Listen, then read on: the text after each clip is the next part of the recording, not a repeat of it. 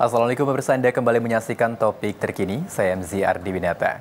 Pemirsa Taman Marga Satwa Ragunan, Jakarta Selatan akan dibuka kembali untuk umum besok sering turunnya tingkat PPKM di wilayah DKI Jakarta ke level 2. Warga yang akan berkunjung diwajibkan menggunakan aplikasi Peduli Lindungi.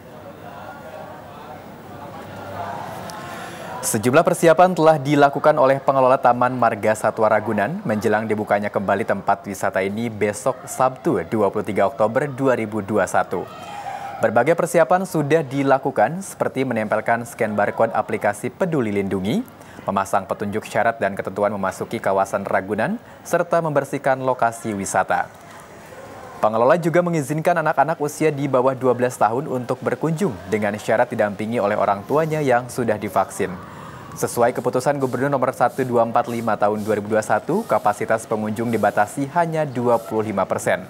Peraturan tersebut telah ditetapkan oleh Pemprov DKI Jakarta seiring turunnya status pemberlakuan pembatasan kegiatan masyarakat menjadi level 2.